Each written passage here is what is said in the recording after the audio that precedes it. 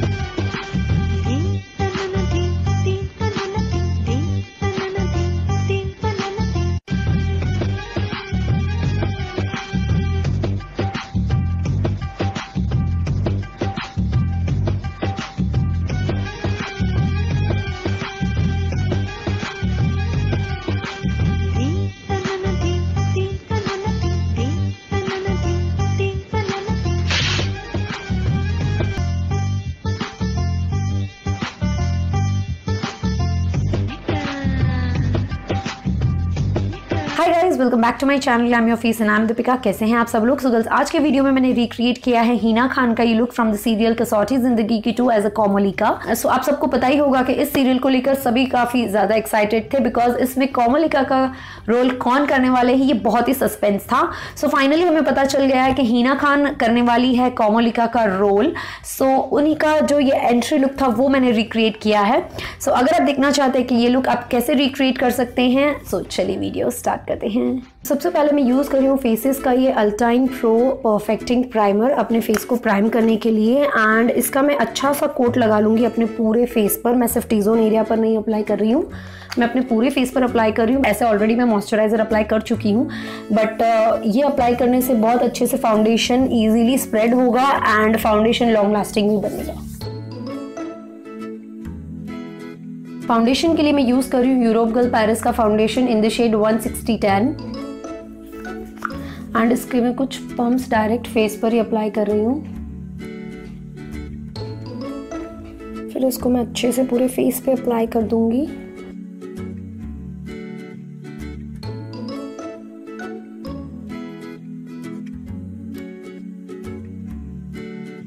Next मैं use कर रही हूँ वेट एंड वाइल की कॉन्टोर किट एंड इसमें से मैं ये बनाना पाउडर लूँगी एंड इससे मैं अच्छे से अपने पूरे फेस पर अप्लाई कर लूँगी एंड अपनी अंडर आइज़ पर अप्लाई कर लूँगी बिकॉज़ हीना खान का जो अंडर आइज़ यहाँ पर था वो बहुत ही ब्राइटन अप लग रहा था। सो so इसलिए मैं इसे यहाँ अच्छे से ज़्यादा अप्लाई कर रही हूँ।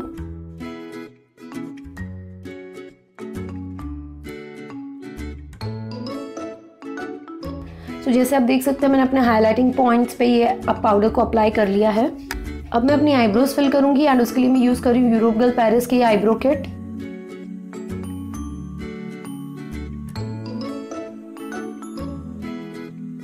एंड इस पूली की हेल्प से मैं अच्छे से कोम कर रही हूँ, ताकि आईब्रो के हेयर जो है वो अच्छे से सेट हो जाए.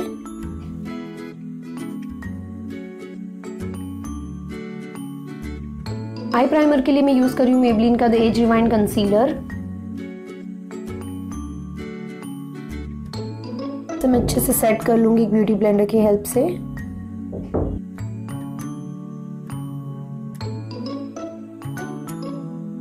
कंसीलर क्रीज करना स्टार्ट कर दे, इससे पहले मैं मेबली न्यूयॉर्क के कॉम्पैक्ट से इसे सेट कर लूँगी अच्छे से।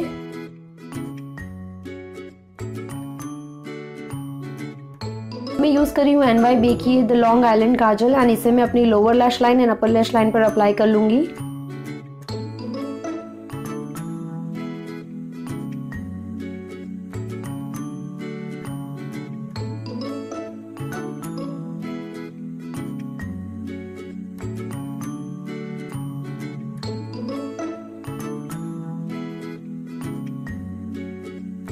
ब्लेंडिंग ब्रश की हेल्प से मैं इस काजल को अच्छे से ब्लेंड कर लूँगी।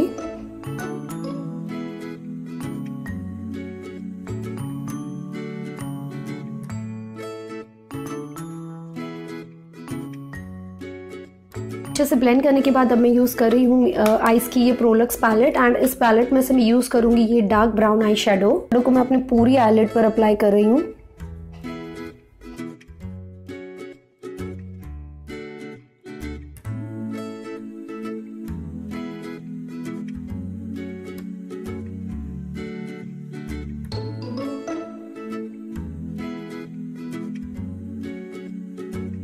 क्लीन ब्लेंडिंग ब्रश की हेल्प से मैं इन दोनों को अच्छे से ब्लेंड कर लूँगी एंड अपनी क्रीज लाइन को भी अच्छे से ब्लेंड कर लूँगी।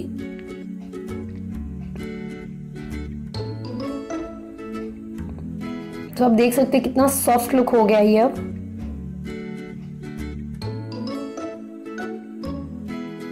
जो मैंने अपनी लोअर लैश लाइन पर अप्लाई किया था, उसे मैं ब्लेंड कर रही हूँ छोटे ब्रश की हेल्प से।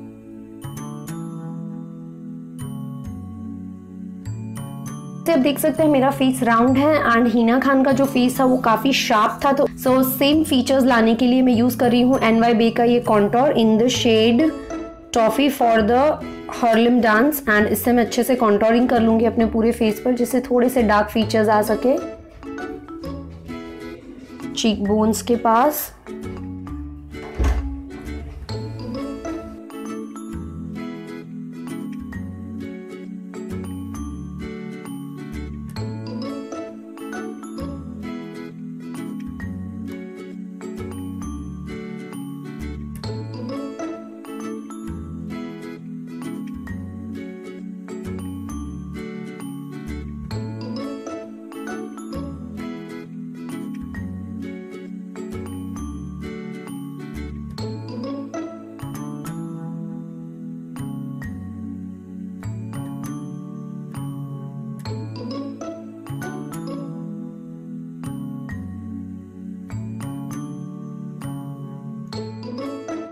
अब इस कॉन्टोर के बाद अगेन मैं यूज़ कर रही हूँ ये वेट एंड वाइल्ड का कॉन्टोरिंग पैलेट इससे भी मैं हल्का सा कॉन्टोर फिर से करूँगी।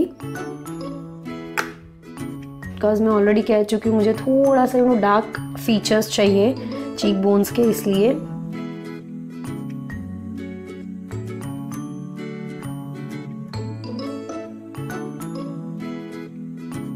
मस्कारा के लिए मैं यूज़ कर रही हूँ मेबलिन का द पुशअप जामा मस्कारा एंड ये बहुत ही अच्छे से आपके लैश को लॉन्ग कर देता है एंड वॉल्यूमनाइज कर देता है।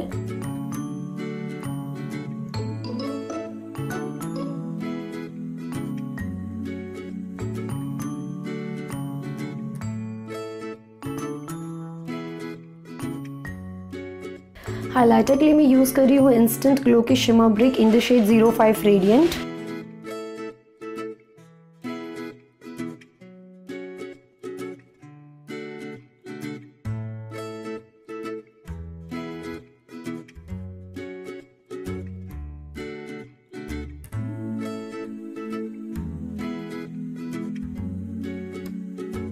lipstick के लिए मैं यूज़ कर रही हूँ स्विस ब्यूटी की matte me lipstick in the shade nude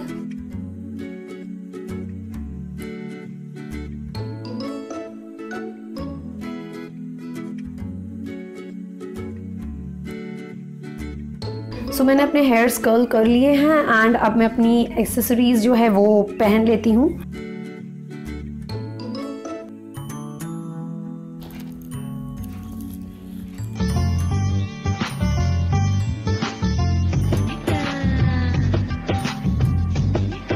yes guys ये था मेरा आज का इंस्पायर्ड वीडियो आई होप आपने इसे एंजॉय किया होगा. एंड अगर आपको मेरी आज की वीडियो अच्छी लगी हो तो आपको मेरे चैनल को करना है subscribe like share and comment and guys please इस वीडियो को ज़्यादा से ज़्यादा शेयर करना बिकॉज़ बहुत ज़्यादा मेहनत लगी इस लुक को रिक्रिएट करने में. तो यस गाइज़ आज के वीडियो के लिए बस इतना ही. मिलते हैं मेरे नेक्स्ट वीडियो में. तब तक के लिए bye take care and stay blessed bye guys